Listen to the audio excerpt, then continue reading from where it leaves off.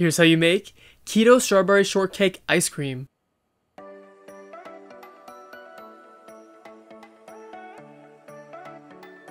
Add one packet of sugar-free vanilla pudding powder into a bowl.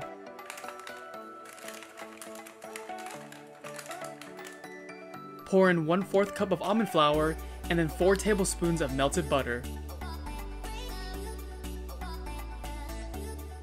Mix those ingredients until they're well combined.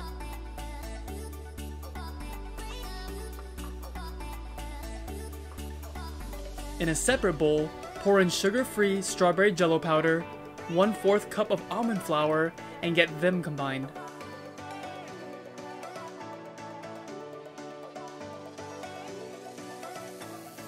Add 4 tablespoons of butter and get these ingredients well mixed.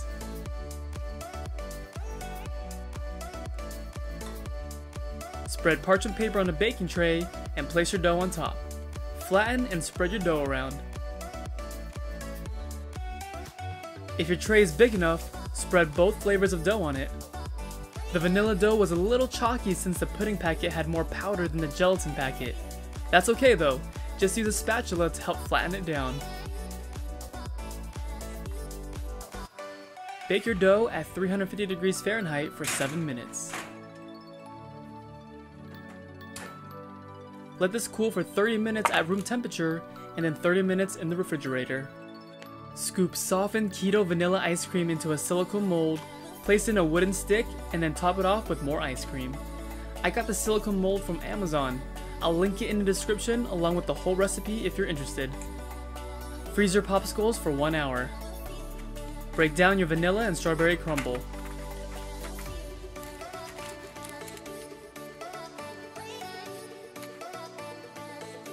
I like putting the crumble in a plastic bag and mashing it with a wooden spoon to get nice fine crumbs.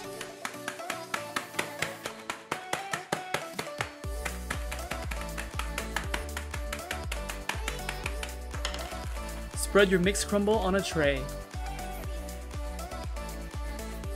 Break down any remaining big chunks.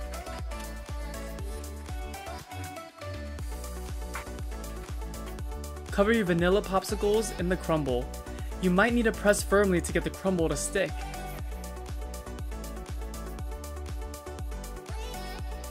Enjoy your keto strawberry shortcake ice cream. Thanks for watching the video today. If you have any other food ketofication requests, leave them in the comments down below. Also, if you like cool stuff, follow me on Instagram. Alright everyone, till next time.